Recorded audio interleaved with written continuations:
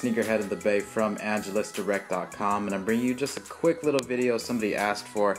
I forgot who asked me for this video or who requested it so I really apologize but I hope you're watching this video right now because you did ask me what camera I use or what cameras to use when you're pretty much starting YouTube. So this is for everybody that's like um, thinking about getting into the whole YouTube game and they're kind of curious on what you should use to record videos with. So I'm gonna just go on. Um, I have a lineup of stuff right here and pretty much this is like my progression kind of. So let's get right into it.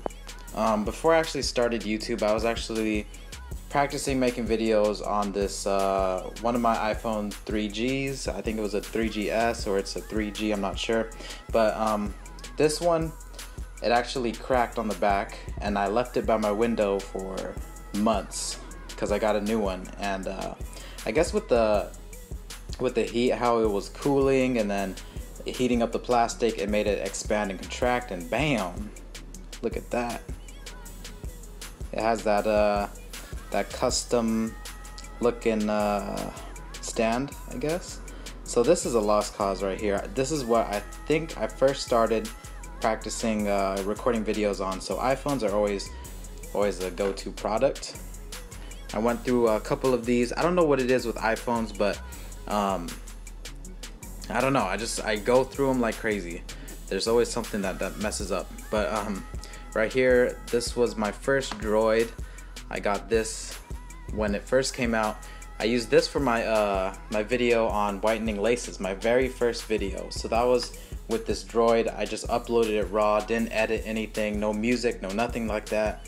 Um, so yeah, if you guys have any smartphones, I would really recommend that because they they have very decent cameras, um, and it's pretty easy to use. So so we got that, and then when I started getting more serious in the YouTube game, I started using my dad's camera. This is a Canon S95. I used this for a very, very long time.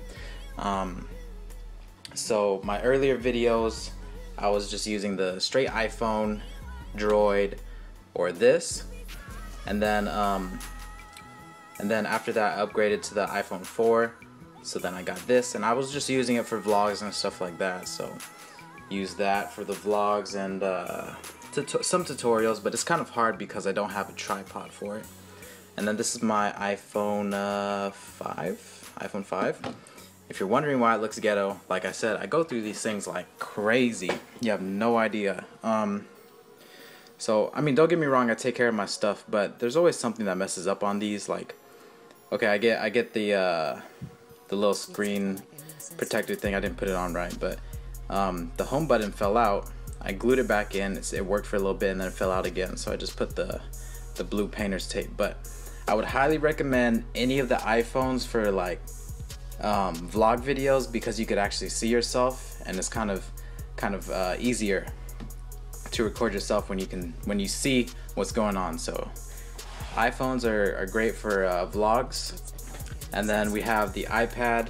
I used to record with the the iPad, uh, the mini one but I uh, I sold it to my boy before he went to the Air Force so he could uh, contact us and all that. So um, this is just a little um, something I use now for the time lapse videos just because I don't have much space on my phone or my camera. It always overheats over like 10 minutes, but the iPad it records for a very very long time because I have a lot of space on it. So I use this one to do the time lapse videos and stuff like that for the the longer ones. Um, no problems with it overheating, nothing like that. And it also has this little keyboard on it, so I could pretty much use it as a tripod. Um, if you could imagine putting this, like leaning it against something and you want the, the right angle, it's kind of hard, but when you have the, the keypad and everything like that, it's all good.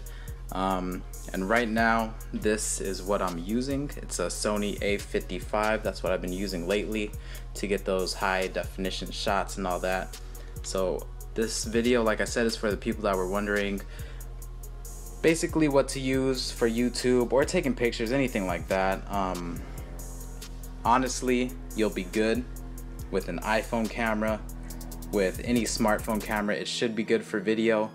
Um, I also used my iMac for videos. Um, sometimes when I was just talking to the computer, doing some weird stuff. So any pretty much anything. Um, just usually like like I said, the iPhones, smartphones, stuff like that, they have very good cameras and it's very decent for uh, the YouTube quality. So I don't know. It's up to you guys. I'm just letting you guys know this is kind of like the stuff that I, I started out with and what I'm using now. So I'll give you guys another rundown on it. You can see right there. And if you're wondering what I'm recording this with, I'm recording it with my mom's iPhone 4, which is also my older one too. So uh, shout out to Mama Sneakerhead in the Bay. Hope you guys like this video. Let me know if this is helpful for you guys. And I'll catch you guys next time.